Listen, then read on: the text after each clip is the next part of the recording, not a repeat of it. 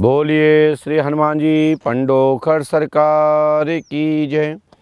श्री हाथीवान महाराज की जय। श्री समाधि वाले बाबा की जय। श्री हिंगोटा वाले महाराज की जय। बोलिए पुष्पावती गंगा मैया की जय। गौ माता की जय। बोलिए पंडोखर धाम की जय। बोलिए श्री हनुमान जी महाराज की जय। देखिए, आज जो क्वेश्चन, जो प्रश्न मेरे से किया गया है कि परम पूजपात सदगुरुदेव भगवान श्री हाथीवान महाराज जी के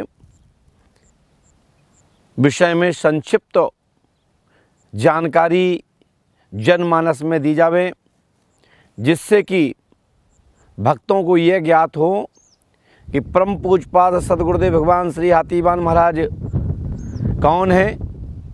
श्री समाधि वाले बाबा कौन है? श्री परितराज महाराज कौन है? और श्री हिंगोटा वाले महाराज कौन है? सभी भक्तों की जिज्ञासा संपूर्ण भारतवर्ष में और देश विदेश में बैठे भक्तों को परम पूजपात सदगुरुदेव भगवान श्री हाथीवान महाराज के जानने के विषय में भक्त जिज्ञासु हैं। मैं पंडोकर धाम की पीठ की की ओर से पंडोकर धाम पीठाधीश्वर होने के नाते जो हमसे आज क्वेश्चन किया गया है, उस क्वेश्चन पर मैं आपको बताना चाहता हूँ। सबसे पहले पंडोखर धाम पंडोखर धाम पीठाधीश्वर पंडित गुरुशरण शर्मा विप्र ब्राह्मण कुल में हमारा जन्म हुआ है। पंडित श्री अशोक कुमार शर्मा जी के ज्येष्ठ पुत्र के रूप में आप सब लोग मुझे जानते हैं।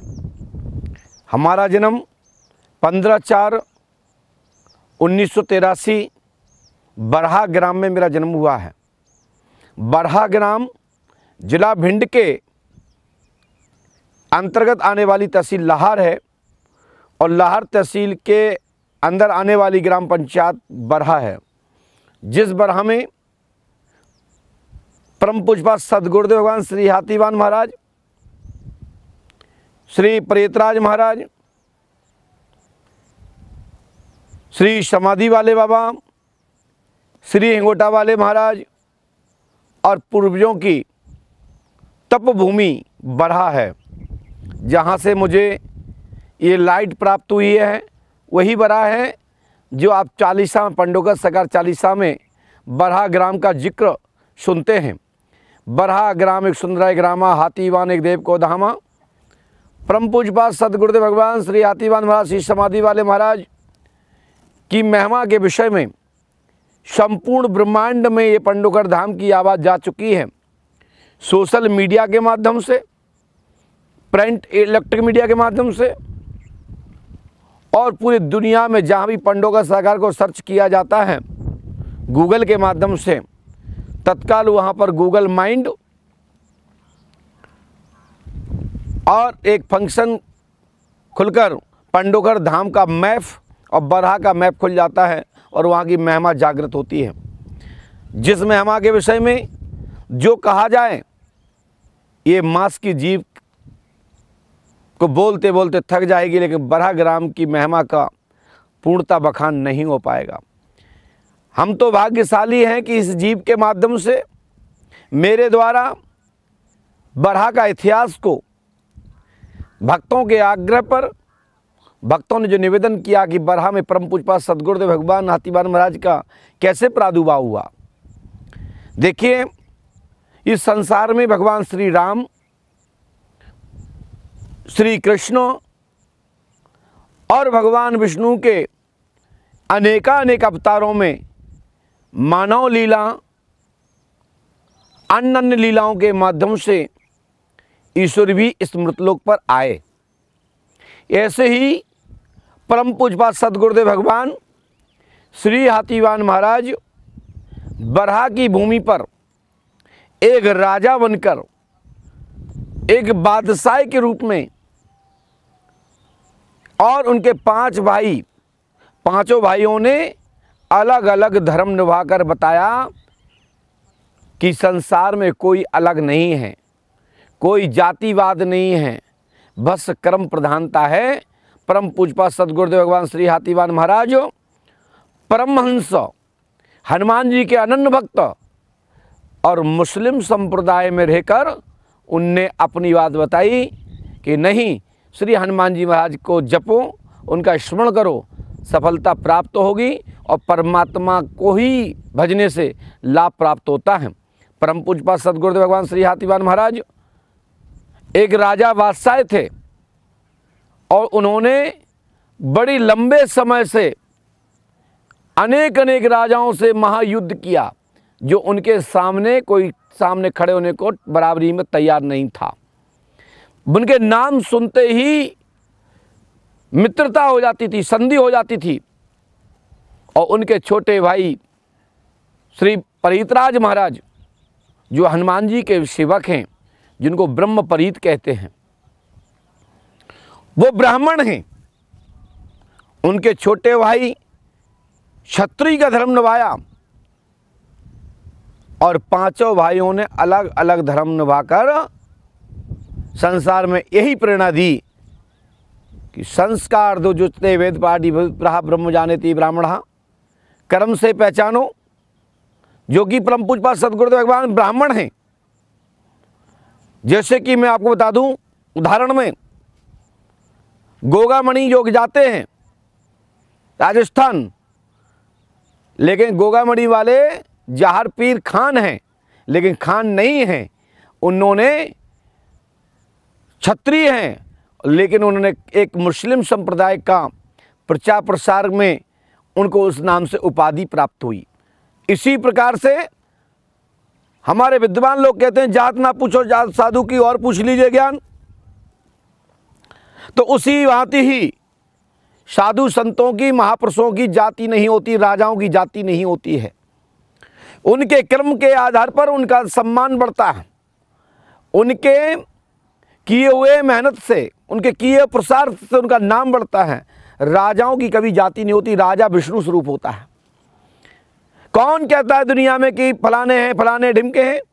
परम पूजपा सदगुरुदेव भगवान श्री हाथी की जितनी आयु है, देवतुल्य आयु है। जब परम पूजपा सदगुरुदेव भगवान श्री हाथीवान महाराज, जिनके लिए आला में लिखा गया है, राजा पीरू मरे बराकी खान आला का इतिहास जानते हो कब का है? पृथ्वीराज चौहान के टाइम का है। कुछ लोग कहते हैं शत्रुजीत दतिया के राजा से युद्ध हुआ। कुछ लोग कहते हैं महाभारत में उनका योगदान रहा है। कुछ लोग कहते हैं कि श्री कारसदेव महाराज बुंदेलखंड बयाना जहाज़, राजस्थान में सूर्य नारायण की जो उत्पत्ति है भगवान शंकर की दो कला से अपतृत हुए हैं, फूल अवतार कारसदेव महाराज। उनके ज्येष्ठ मित्र, बड़े, पगिया पलटी हुई परम पूजपा सदगुरु भगवान श्री हाथीवान महाराज जी से, ये बुंदेलखंड में जो देवताओं की परंपरा है कली काल में जो देवतुल्य प्रेतुल्य सिद्धतुल्य, आदि भैरव, आदि नारसिंह, गौड़, परीत, मेवात्य नारसिंह बुदेला आदि, ये सब मानव हैं। ये, लेकिन देव अवतृत कली काल में देवताओं के रूप में प्रकट हो गए और ये लोगों के आराध्य, इष्ट और उनके कृपा पात्र गुरु के रूप में और महापुरुषों के रूप में उनकी पूजा होती है। तो परम पूजपा सदगुरु भगवान श्री आतिवन महाराज बादशाह राजा थे, जिन्होंने दतिया के राजा शत्रुजीत का वध किया था। जो कि शत्रुजीत ने विश्वासघात किया। नाम सुनते ही राजीनामा के लिए आए थे।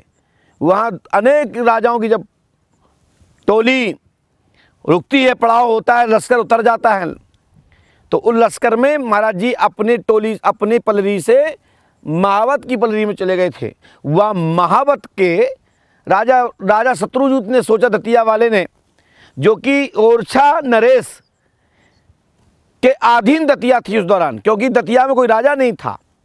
दतिया के राजा तत्कालीन उनके पास जो पावर था, जो उनके पास गद्दी थी तो उस गद्दी को रखाने वाला कोई था नहीं।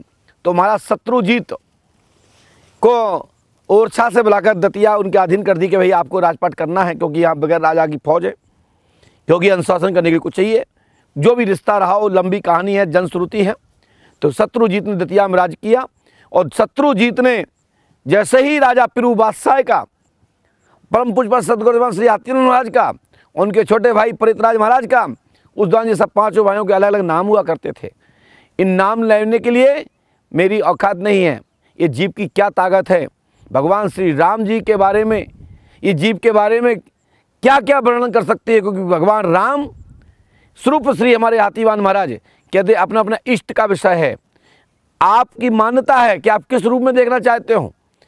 कहते हैं, गुरु ब्रह्मा, गुरु विष्णु, गुरुदेव महेश्वरा, गुरु साक्षात पाब्रह्म श्री गुरु नमा। तो परम पूजवा मेरे गुरु हैं। श्री राम जी महाराज की महिमा जितना इस जीव से गुणगान कर सकें, उतना भी कम है। उनकी महिमा का वर्णन कोई नहीं कर सकता। ऐसे ही परम पुष्पा सदगुरुदेव भगवान, श्री हाथीवान महाराज के बारे में कोई भी गुणगान नहीं कर सकता। जितना भी करेगा, वो अपने आप को सौभाग्य समझे, उतने में अपने आप को उद्धार हो जाता है। तो यही आप लोगों से कहेंगे कि श्री आतिवान महाराज एक राजा थे और दतिया वाले राजा ने, राजा शत्रुजीत ने वहाँ पर उन पर प्रहार करने का प्रयास किया। उनने सोचा, कौन राजा? इस समय तो सब लोग सो रहे हैं। संधि के लिए आया था। राजीनामा के लिए कि हम आपसे युद्ध नहीं करना चाहते।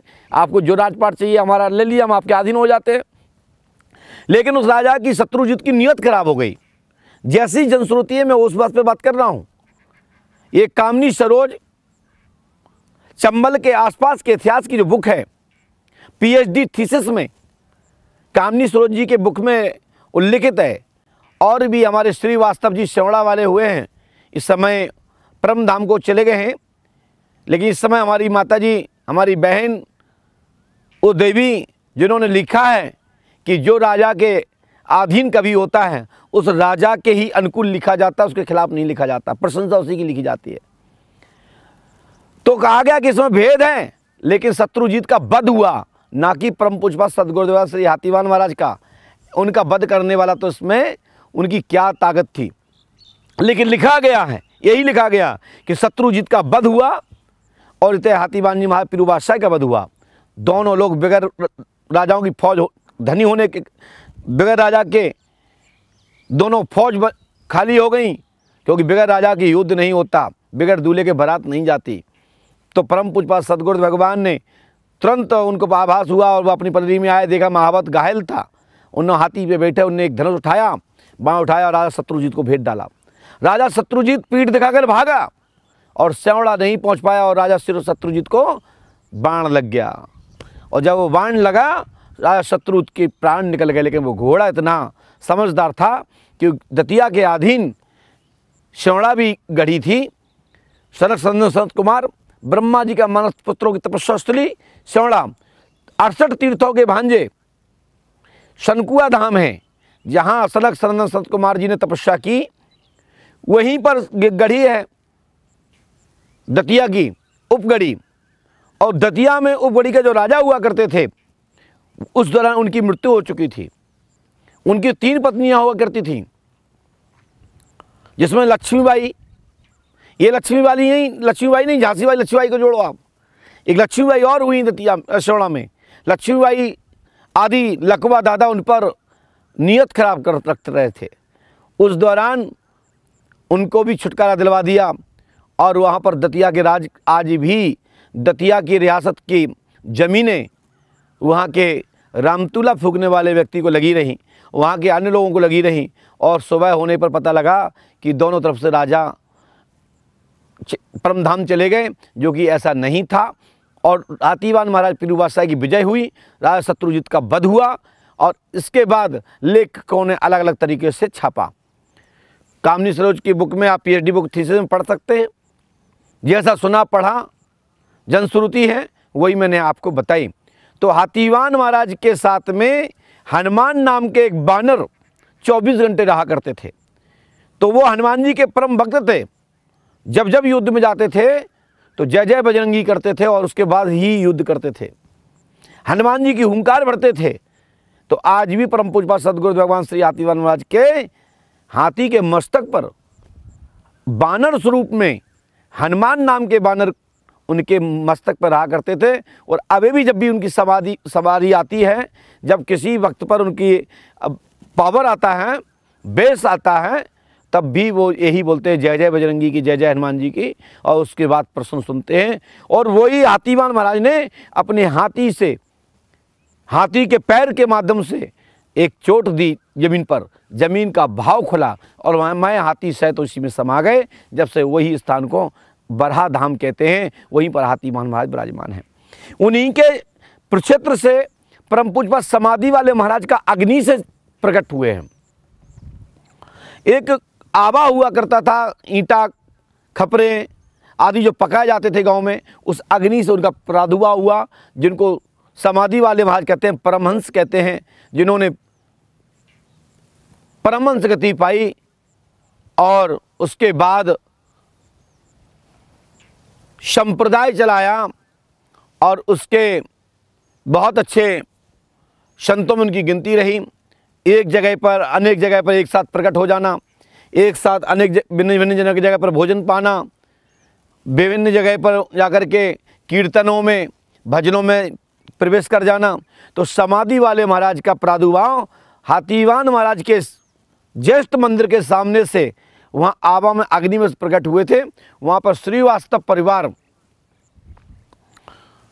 सक्सेना परिवार के माध्यम से, श्रीवास्तव जी के परिवार से उनको बालक स्वरूप में ले जाना, उसके बाद उनको मंदिर पर गरीब नाम का स्थान बनाना, वहाँ पूजा पाठ के लिए उनकी व्यवस्था करना, और से धीरे धीरे उनने अपनी लंबी आयु पाई, और आयु होने के बाद उन्होंने कहा कि यदि समा, मुझे समाधि चाहिए और जीवंत समाधि चाहिए।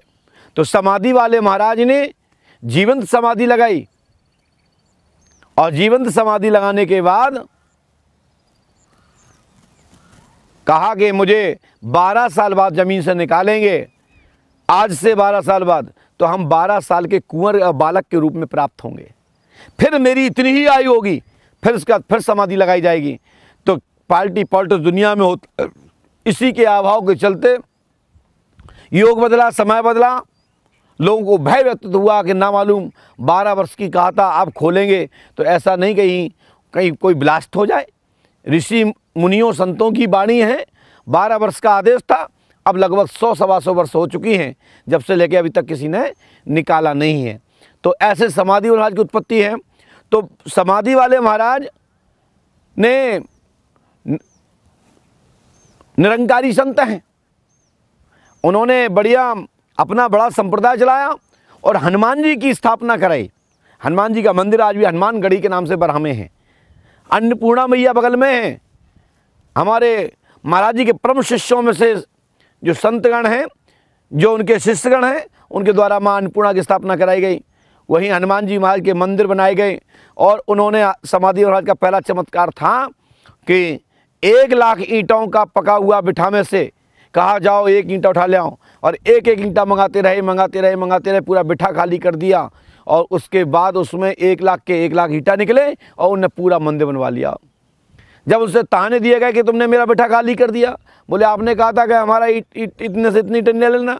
तो हमने ले अपने उतने ले लिए। बोले नहीं मेरी इतनी बात नहीं थी हमारी तो पाँच हज़ार या दस हज़ार देने की बात थी। तो भैया बोले अपने जा ईटा गिर ले। जब इनने ईटा गिने तो एक लाख के एक लाख उस बिठा के अंदर निकले और उन्होंने पूरा आज भी वो मंदिर बनाया। वो मंदिर उन्हीं के ज़माने का है, उन्हीं के ज़माने की गढ़ी गढ़ी है, उसी ज़माने के आज भी वहाँ गुफाएँ बनी हैं और वो एक लाख ईटा के आसपास का बिठा को उनने मंगाते रहे मंगाते रहे और पूरा बिठा खाली कर लिया, आधे से ज़्यादा ऊपर ज़्यादा कर लिया और जब वो बिठा देखा गया तो तय निकला। नाकाबंदी का ज़माना था, शक्कर ले जा रहे थे। नाकाबंदी पे पकड़ लिया गया कि भैया एक काले जा रहे हो? बोले, साहब जहाँ तो नमक है। मुँह से कह दिया। बोले, बाबा, आप गलती हो गई, नमक कह दीजिए, अब ये खोले तो जब खोला गया तो उसमें पूरे दोनों के दोनों बोरा जितने थे, सब नमक हो गए। एक बार काउंटर कई शक्कर था, कितना माने, बोले, साहब, इतनी मन। है कहीं तोलते थे पहले नाकाबंदी। तोला गया, देखा गया, उतना ही निकला। उनने लेके गड़ी पे किया, चमत्कार हो गया, चमत्कार हो गया, चलता गया चलता गया। शक्कर को नमक कर दिया गया, नमक को शक्कर कर दिया गया। ऐसी कई किवदंतियाँ उनके बारे में हैं कि एक जगह चार चार जगह निमंत्रण हैं तो चार चार जगह भोजन कर रहे हैं। दो दो जगह भजन हो रहे हैं, भजन बुलाने वाले आया वो पूजा में बैठे हैं। और जब देखा गया, वो चलो तो पता पड़ा, महाराज जी दो घंटे से पहले से यहाँ पर भजन में बैठे उनका आज भी नियम है कि जिला जालौन का जिला झांसी का गाँव है आज भी वहाँ जाके देख सकते हैं साकिन। साकिन में आज भी समाधि महाराज का स्थान है। उनने वरदान लिया था कि महाराज, जब जीवंत थे महाराज, कि महाराज कहीं भी रहो, एक टाइम का भोजन मेरे यहाँ करना है। तो एक टाइम भोजन करने के लिए साकन प्रकट होते थे प्रतिदिन। जो साकन संतर के पास में है, ऐसा मेरा कहने का मतलब है, ऐसा मैंने सुना महापुरुषों के मुख से और ग्रामवासियों के मुख से, अपने बड़े बुज़ुर्ग लोगों के मुख से, वो मैंने आपको संक्षिप्त जानकारी दी और देवताओं की कौन इतिहास बता सकता है? कहाँ से जन्मे? कहाँ को गए? संत तो जल की तरह है, बहता पानी है। जहाँ थम जाए थम जाए और जहाँ मन में आ गया तो चल दिए। ऐसे संतों का तो शरण में जाना चाहिए अथना करना चाहिए। नाम के वो मुस्लिम संप्रदाय का उनका वो रहा है, ना कि वो जाति से मुसलमान नहीं है। कृपया यह दिमाग से हटा दें। आतिवान महाराज हनुमान जी के भक्त हैं, उनके मंदिर में ना तो अंडा लगता है, ना मुर्गा लगता है, ना किसी प्रकार की अन्न पूजा पाला की होती है, वहाँ रामायण होती है, भागवत होती है, प्रवचन होते हैं, कथा होती है, और जब भी किसी की मनोकामना पूरी होती है तो कन्या होती है, भागवत होती है, इस प्रकार के वहाँ कर पूजा पाला की होती है। अब धारणाएँ अपनी अपनी अलग अलग हैं, परम पूजपा सदगुरुदेव भगवान मेरे इष्ट हैं, मेरे गुरु हैं, जिनके कारण पूरी दुनिया में सब लोग उनका दर्शन करते हैं। बोले, परम पूजपा सदगुरु भगवान श्री आतिवान महाराज की जय। श्री समाधि वाले बाबा की जय। बोले, श्री परितराज महाराज की जय। बोले, श्री हिंगोटा वाले महाराज की जय।